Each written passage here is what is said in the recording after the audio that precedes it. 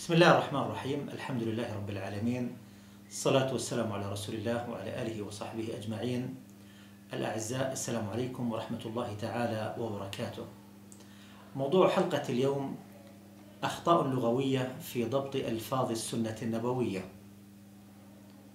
أيها الأعزاء لقد أجمع العرب قديما وحديثا على أن النبي صلى الله عليه وآله وسلم وأفصح من نطق بالضاد. وأنه أوتي جوامع الكلم وأن كلامه هو أبلغ كلام بعد القرآن الكريم كلام الله تعالى المعجز. وكانت سنته تمثل ميزانا حساسا ودقيقا للفصيح من القول. ونعجب أعزائنا أن يتطرق اللحن والخطأ إلى أحاديث النبي صلى الله عليه وآله وسلم على ألسنتنا وأقلامنا. لأنه إذا دخل الخطأ في ضبط الكلمة اختل الميزان وفسد المعنى. فإذا غيرت مثلا حركة الإعراب من ضمة إلى كسرة أو إذا أضفت شدة أو كسرت حرفا مفتوحا أو ضممت حرفا مكسورا كل ذلك أدى إلى تغير المعنى. وربما أحيل الكلام إلى غير معناه أو إلى غير المراد منه. فالحرص إذن على أداء ألفاظ السنة النبوية على الوجه الصحيح الذي انتهت به أو إليه واجب شرعي وعلمي.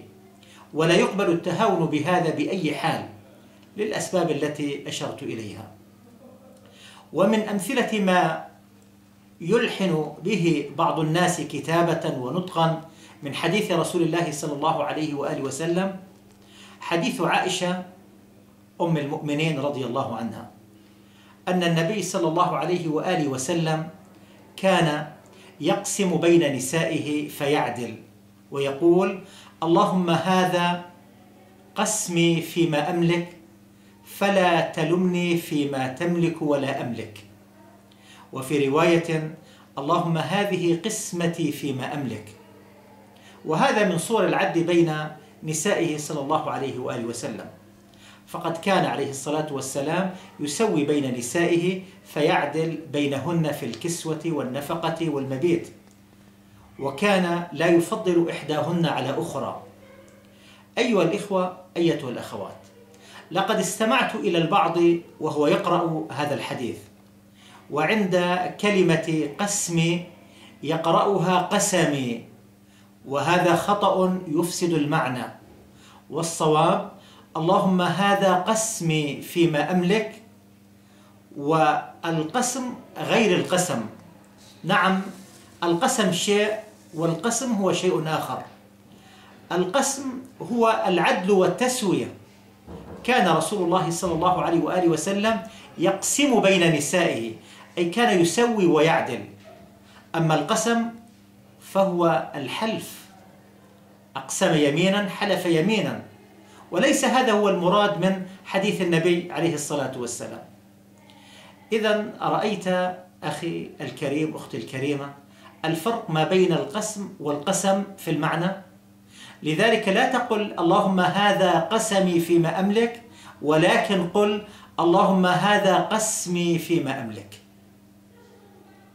أيضا من هذه الأخطاء والأوهام التي يقع فيها بعض الناس في قراءة الأحاديث قوله صلى الله عليه وآله وسلم لابن عمه علي بن أبي طالب كرم الله وجهه. قال له فوالله لأن يهدي الله بك رجلا واحدا خير لك من حمر النعم. هذا الحديث أيها الأعزاء وفي بيان أهمية الدعوة إلى الله تعالى وفي عظم أجر من يهدي الله تعالى به واحدا. يا أيها الإخوة يا أيتها الأخوات لقد وجدت بعض الناس يضبطون كلمة النعم بالنعم. ومعنى النعم هو غير معنى كلمة النعم. المعنى مختلف تماما.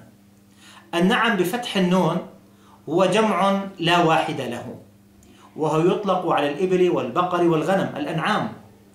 ومعنى حمر النعم كرائمها وخيارها. أما النعم بكسر النون فهو جمع نعمة. وإن تعدوا نعمة الله لا تحصوها. إذا أرأيت أخي الكريم أختي الكريمة الفرق في المعنى ما بين الكلمتين؟ لذلك لا تقل خير لك من حمر النعم. لا تقل الكلمة بالكسر بل قل خير لك من حمر النعم بالفتح. فوالله لأن يهدي الله بك رجلا واحدا خير لك من حمر النعم. لذلك أيها الإخوة أيتها الأخوات المطلوب منا دائما الحرص على أداء ألفاظ السنة النبوية على الوجه الصحيح حتى لا نقع في الزلل والخطأ فيتغير المعنى ثم يختل الميزان. لنخرج الحديث بعد ذلك عن معناه وعن مقصوده الذي أراده النبي صلى الله عليه وآله وسلم.